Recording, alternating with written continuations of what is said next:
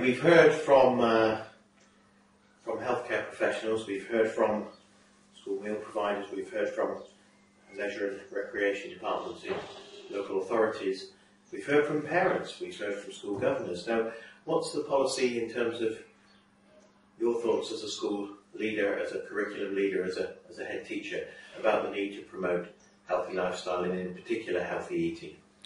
I think there's two elements. If I start with the children and the curriculum first, um, part of our belonging to the Healthy Schools initiative and being a healthy school is to promote healthy living within our, within our school. So children from foundation upwards actually start by looking at their health uh, initially about themselves. And that's really important because children need to know what they need to do to be healthy for themselves. And they do some work in the summer term to complete this.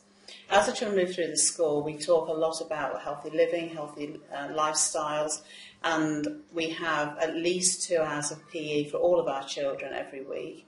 And then alongside that, the curriculum then continues into growing vegetables, recognition of how they feel, they know where their heart is, and the result of doing exercise and what it does to their heart. So throughout their time at our school, we promote healthy living, healthy lifestyle. So that's the element of curriculum. Beyond the curriculum, we've talked earlier that children are given fruit and vegetables every day. Uh, they, they don't have a choice because it comes from government funding, but every day, the children today actually have strawberries, which is the real treat, and we don't often get those. But during the whole year, they have bananas or apples or satsumas, plums, pears, tomatoes, carrots. So all children are exposed to healthy foods. And actually, even those that don't really like it, initially say, I'm not going to eat that.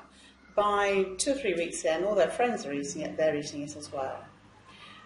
We also encourage every child to bring a water bottle to school every day, and they're allowed to go to that water bottle at any time during the school day. And when we say water, we mean tap water.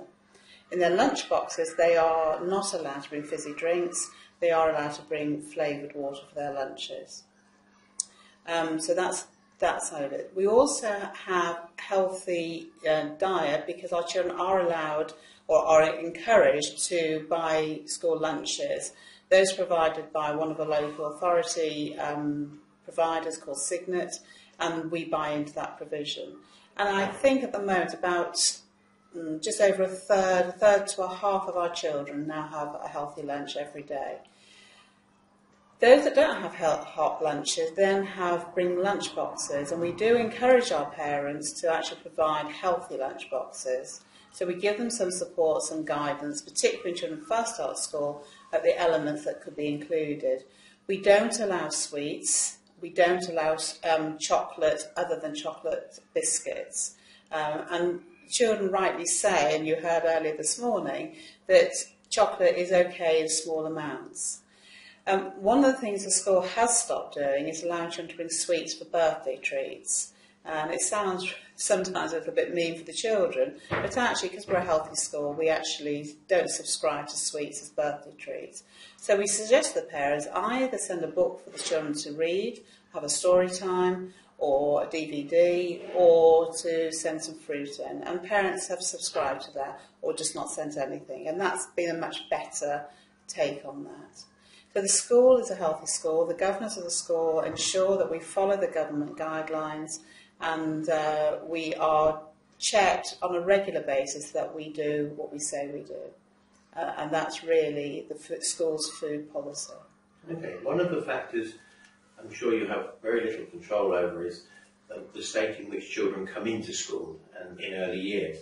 And putting on your black hat, what are the problems that children who perhaps are overweight, obese, or have a poor diet? What are the problems that they have when they come into school that you have to deal with?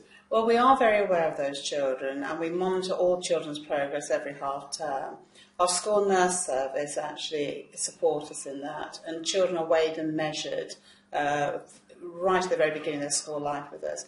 Children we're worried about, we can refer back to the school nursing uh, organisation on a regular basis and ask for advice. And we suggest their advice is to the parents. So it's, it's sort of almost not quite taken out of our hands, but we ask them to visit the parents in their own home and actually talk to them about how they can support their children to have a better, healthy diet.